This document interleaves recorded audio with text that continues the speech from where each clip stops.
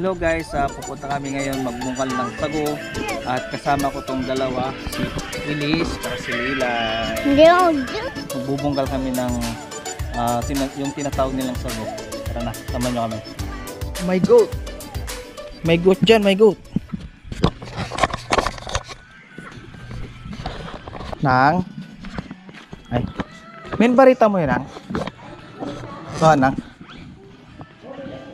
Ayan. Tanggoy natin. Ay, makatapa kayo dyan, ha? Si Alakyan na ng ano na ta pang inumin yun eh. mangali kami ng sago sa sarinan Akira na ni tuloy tiya Huwag kayo maglaro ng tubig Wag wag wag wag wag wag wag wag wag wag wag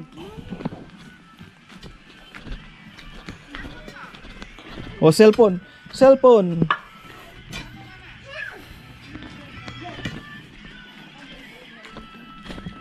La la la la la la la la la la la la Ulit. la la la la la la la Papasukin kita sa loob. Go inside ka na. Oh.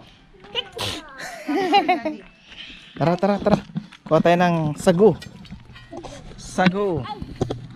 Pupunta kami manghukay ng sago. Tama nyo kami. At kasama ko itong dalawang chikiting.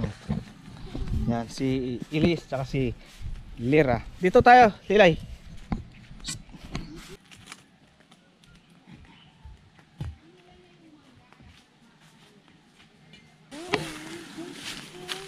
Ito yung tinatawag na sago. Natuyo na yung dahon. Yung tinatawag na natuyo na yung dahon kaya ganito na yung itsura. So halos hindi na makita yung puno niya. At ah, magukay tayo ng sago.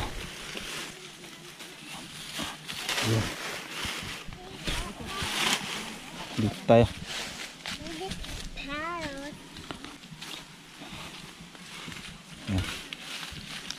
Ito na sa ito na ari ari ari arial. Sige, Si tanang.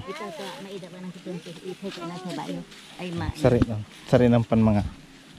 Hawak, hawak. Hawak. Hawak nyo. Ako. Uy. Ano Hadada. Ano yan? Dito mo yarap. Wow. Get out.